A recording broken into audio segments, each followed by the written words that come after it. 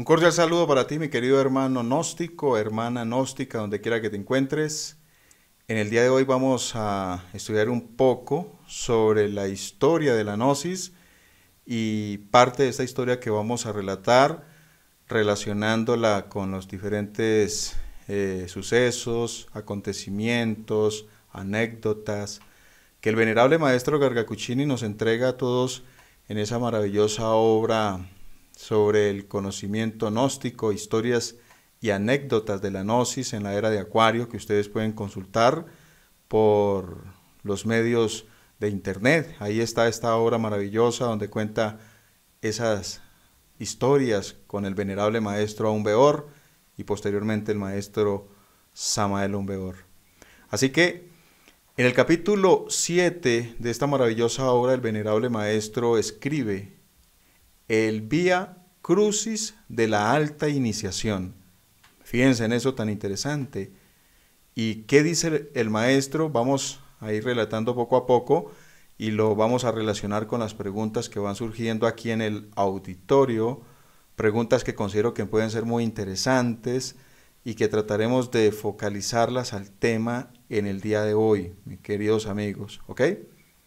Dice, comenzando este capítulo, capítulo número 7, sobre la Via Crucis de la alta iniciación. Como hemos visto, estando el venerable maestro un Weor en la Sierra Nevada, fundó allí el primer templo de misterios, el Sumum Supremum Santuarium, clavado dentro de las rocas y el medio de la montaña virgen. Cuántos recuerdos interesantes se agolpan a mi memoria para que los cuente a la posteridad. Entre ellos, mis distintos sucesos iniciáticos, como quiera que a los estudiantes les interesa saber cómo pasé las nueve iniciaciones de misterios menores, les daré datos importantes sobre ellos o sobre estos estudios preliminares, los cuales tienen que ver con nuestra conducta. Fíjense en eso lo que está diciendo el maestro. Nosotros que creemos la iniciación y escalar la nueva iniciación de misterios menores, una de esas características que nos prueban es la conducta, el comportamiento. Recuerden ustedes, aquel compás, aquella escuadra de la conducta, la recta conducta, afectos que en ocasiones se convierten pues de hecho en afectos que no son muy buenos para nuestro avance, en tolerancias. Dice el maestro, pareceres que lo enredan a uno, que lo descoordinan y te sacan realmente del camino, pareceres que son incorrectos y que no son por donde debes andar. Disciplinas que no se practican, no se hacen diariamente en el camino de nosotros. Dice el maestro también, obedecimientos. Ustedes sí sabían que una de las situaciones más complejas de la iniciación es no ser obediente. Cuando perdemos la obediencia, perdemos el sendero, porque hay que ser obedientes al Padre, así en la tierra como en los cielos. El maestro también dice sobre cultura, la cultura es fundamental dentro del campo del ocultismo, etcétera, etcétera.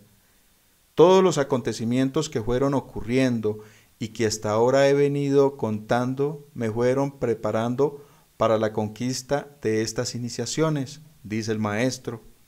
El maestro explica en el primer matrimonio perfecto, ustedes saben que existe, pues de hecho, el matrimonio perfecto Kinder, y ahí él dice, las conquistas logradas con las nueve arcadas o nueve iniciaciones menores. Cuando el estudiante logra la quinta iniciación de misterios menores, gana el título de maestro. ¿Recuerdan ustedes cuando se habla sobre el chela o maestro de misterios menores? Aquí no lo está pues eh, aclarando el maestro. Durante el término de esta iniciación nos toca luchar contra los defectos del orgullo y la vanidad estos son dos defectos fundamentales de trabajo. Existe un orgullo y una vanidad económica de posición social que ustedes la pueden ver en la sociedad y, y existe un orgullo y vanidad en la parte esotérica, ¿no? Lo hemos visto, ¿verdad? La parte esotérica. El primer título, dice acá, continuamos, el primer título, alcanzado nos envanece. O sea, ojo a nosotros, ojo con el, eh, esa, esa, cuestión de sentirnos eh, embelecidos, ¿sí? Nos dice el maestro, envanece, nos llena de altanería. El orgullo nos llena de altanería, nos vuelve prepotentes y ahí es donde está la clave del trabajo en relación a la conducta para seguir avanzando en la iniciación.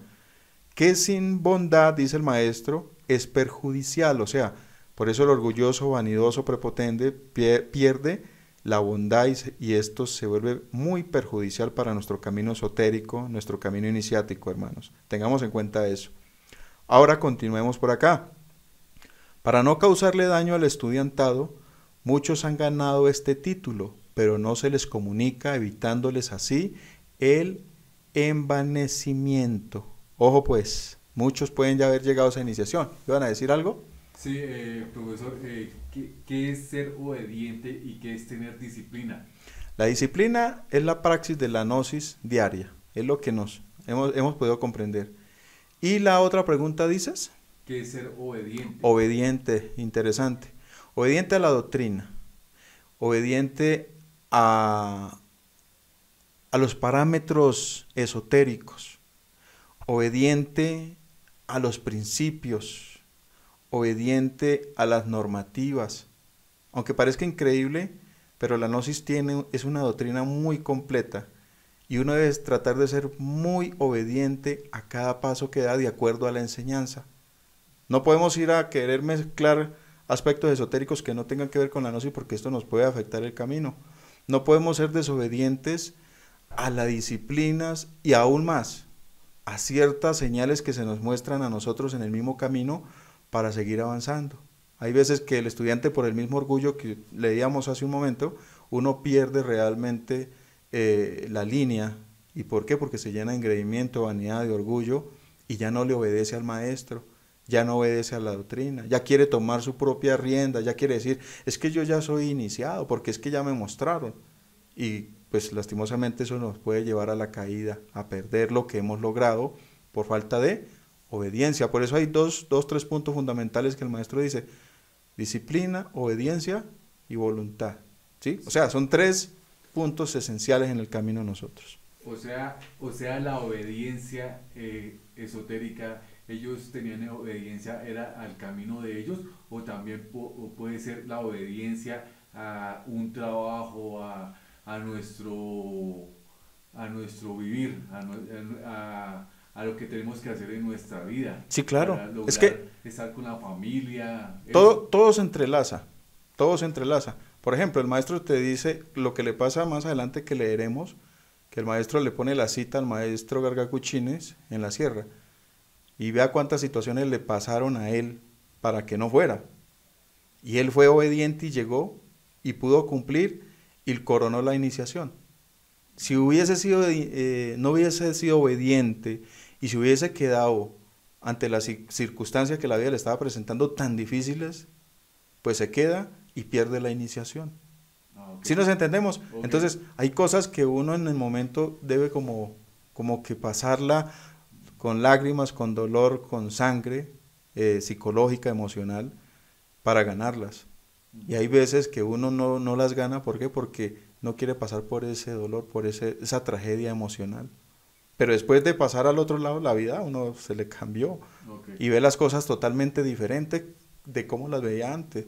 ¿Por qué? Porque el, mayor, el nivel de conciencia, de comprensión que se le incrementa es superior. ¿Listo? Listo. Bien, entonces íbamos por aquí que decía algo interesantísimo. Decía que a muchos no se les muestra o no se les dice que ya van en la quinta y que ya tienen un nombre develado internamente. ¿Por qué? Por el orgullo y la vanidad, ¿no? Sin embargo, continuando aquí el relato, dice el maestro, en la octava iniciación de misterios menores nos toca vivir el libro de Jod, paciencia y más paciencia. A ver, ¿a cuánto no nos ha pasado esa situación y uno por impaciente pierde la prueba? Por impaciente, por afanado, porque todo lo quiere ya. ¿O no es así?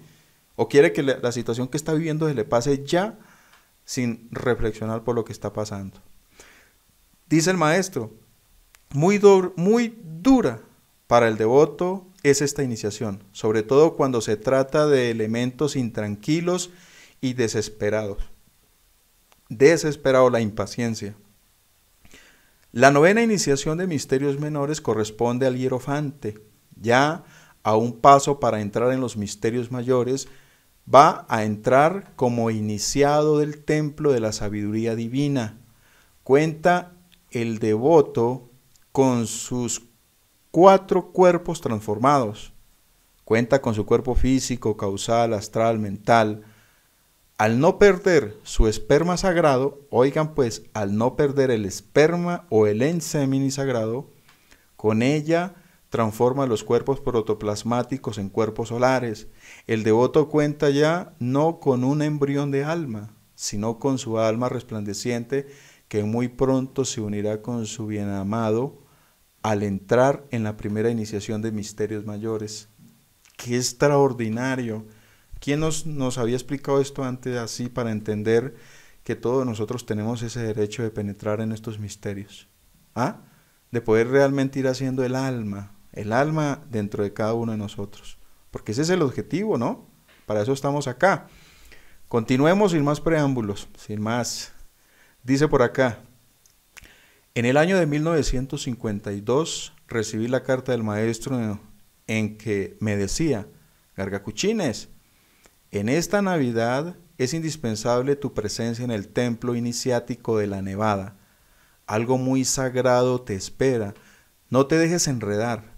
Debes venir, cueste lo que cueste. Así hablaba el maestro, ¿no? Cueste lo que cueste. Dice, de mi parte presentía mi llegada al Gólgota a la crucifixión, mi hogar casi destrozado a causa de mis ideas quijotescas. Las empresas que representaba una a una iban retirando su confianza. Los de afuera ya no me señalaban, sino que me mostraban con la boca fruncida hacia afuera. O sea, le fruncían, le hacían el quite al maestro y poco a poco perdía confianza y empleo de lo que sabía hacer, ¿no? Debía subir el 24 de diciembre, era la orden de la venerable logia blanca, y el 23 en la tarde recibí el Marconi, urgente de la única empresa para ese entonces que representaba, y de la cual obtenía mi sustento y el de mi familia. Transcribo el Marconi. Se le ordena al señor Julio Medina Vizcaíno presentarse mañana 24 de diciembre a las oficinas de la empresa para arreglar cuentas pendientes. La no presencia suya indica rompimiento total con la empresa. Firmado. La cita en el Sumum Supremo Santuarium era para esa fecha y lo estaban citando a esa fecha para no perder su empleo. ¿Qué sucederá? ¿Qué pasará si el maestro escoge su empresa, escoge su trabajo, el dinero de sostener a su familia o escoge la parte de la cita en el Sumo Supremo que lo estaban esperando para un acontecimiento trascendental, ¿no? Vamos a ver, dice por aquí el maestro. Cuando mi esposa conoció el comunicado contundente, se echó a llorar y me habló bien claro. Ya sé, ya que ella había leído la carta del maestro, en que me decía que por nada del mundo dejara de asistir a la nevada Sumum Supremum Santuarium. Total, una tragedia indescriptible. Ella esa noche no pudo dormir, yo tampoco. La salida para el templo era a las seis de la mañana, me tocaba en bus hasta la Gran Vía, lugar del ascenso no existía carretera, sino camino de herradura.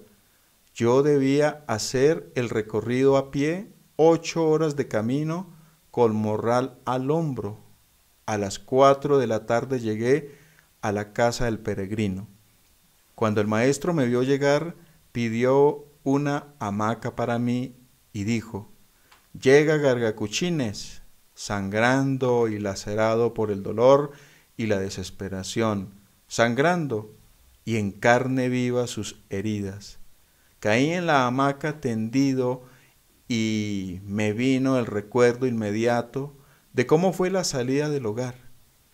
Mi esposa llena de confusión por la amenaza del Marconi, que era categórica para mi empleo. Viendo a cuatro niños en el hogar, el último Jorge, de solo cinco años. A la hora de la salida, mi mujer había despertado a todos los cuatro hijos, los cuales con ella lloraban y pedían que no me fuera para la sierra. Cuando yo, lleno de un poder irresistible, le dije a Dios, ella cayó de rodillas y con ella los cuatro niños en actitud suplicante.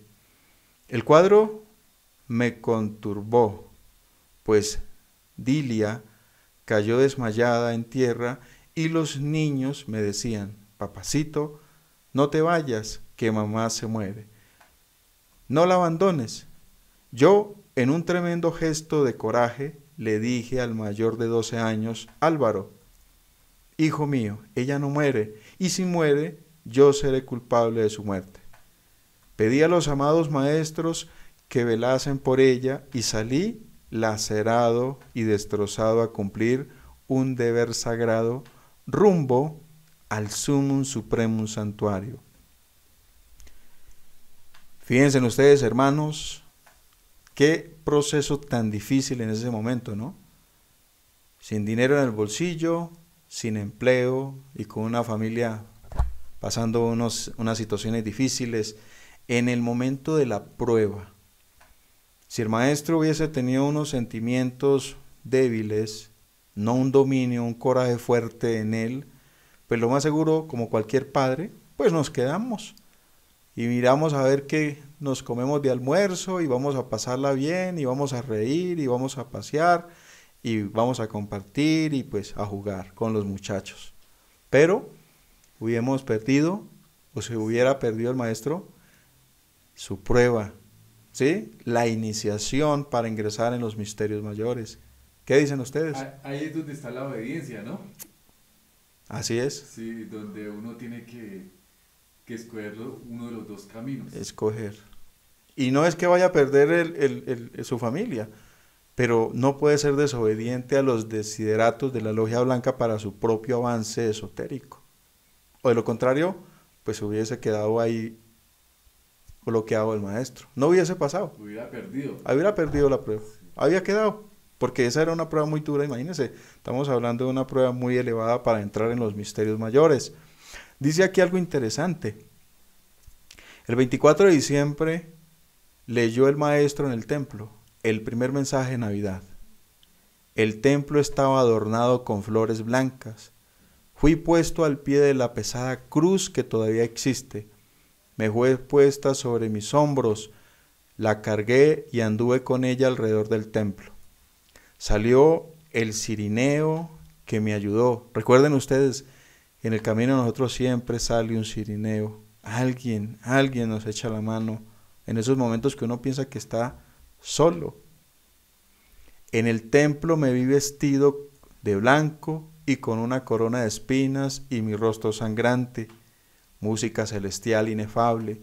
Luego la voz del maestro decía, uno más que ha triunfado había coronado la primera iniciación de misterios mayores, había entrado a la senda de la iniciación, a la primera de mayores, música inefable en el cielo, pero angustias y laceraciones dentro y fuera de mí. Padre mío, jamás te abandonaré, dije llorando. Qué extraordinario. Y uno piensa que la iniciación se gana simplemente con pagarle a alguien ¿sí? con pagarle a otro para que le dé la iniciación y eso no es así. Por algo el maestro Samuel dice que la iniciación ni se compra ni se vende, que la iniciación no se la dan ni se la envían por, por, por envíos, ¿sí? no se la mandan a usted por internet, compañero, querido hermano. La iniciación se gana es con hechos y tengamos mucho cuidado en estos momentos que están surgiendo muchos y muchos falsos profetas, demasiados falsos profetas. Yo compartí una conferencia sobre los falsos profetas y me extendí hacia, hacia afuera, pero tengan en cuenta que en el camino esotérico, en la gnosis, también encontramos falsos profetas y que incluso dan iniciaciones. Mucho cuidado, queridos hermanos. Al regreso del Sumum Supremum Santuarium, venía lleno de optimismo, sin temor alguno, dice el maestro. Al volver a casa, mis cuatro hijos corrieron a recibirme y les pregunté, ¿y su mamá cómo siguió? Y me contestaron, al ratito que tú saliste, ella volvió y nos dijo que no les contáramos nada a los abuelos. Pero ayer llegó un telegrama, ella lo leyó y se puso a llorar. El Marconi era de la empresa que yo representaba y me decía, como usted no atendió la citación para el 24, el 26 siguiente nuestro jefe de ventas, el señor Julano de Tal, para que haga entrega del cargo y bienes que tenga a su poder.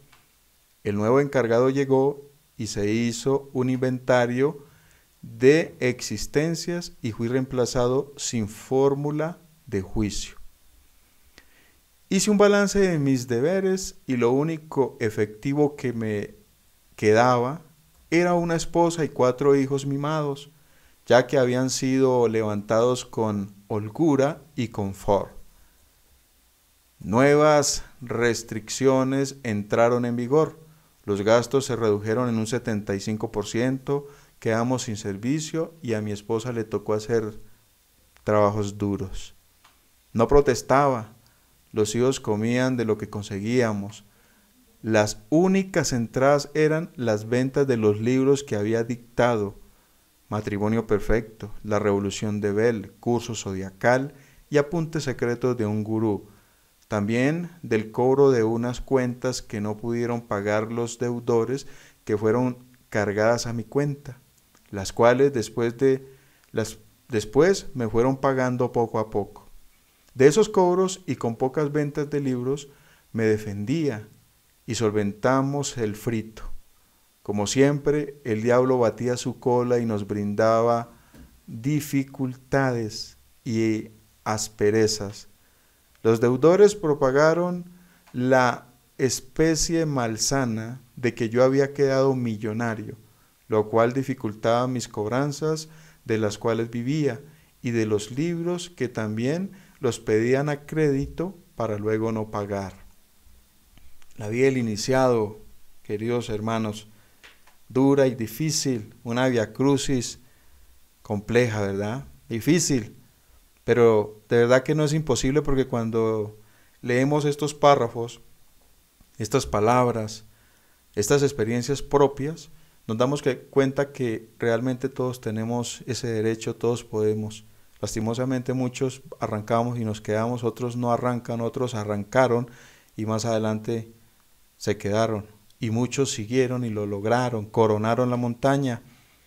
Pero esto de verdad que es en base a ese comportamiento, es base a, a esa lucha, a esa disciplina, a esa tenacidad de ser fieles, de ser nosotros realmente obedientes y, continuar firmes pasando todas estas situaciones duras que tarde que temprano tendrán un fin, ¿no? Todo lo que comienza, pues tarde que temprano tendrá que terminar y pues las pruebas de los iniciados comienzan y algún día terminan y así es que pues ellos muestran con huellas el llegar, el ganar, la gloria de su camino, de su obra.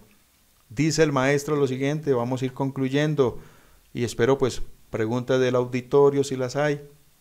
Dice por acá, hoy 30 años después, cuando me tocó entregar la sede central y quedar sin medios de subsistencia, los enemigos de la obra propagaron igualmente la noticia de que Julio Medina era un millonario, lleno de dinero y comodidad.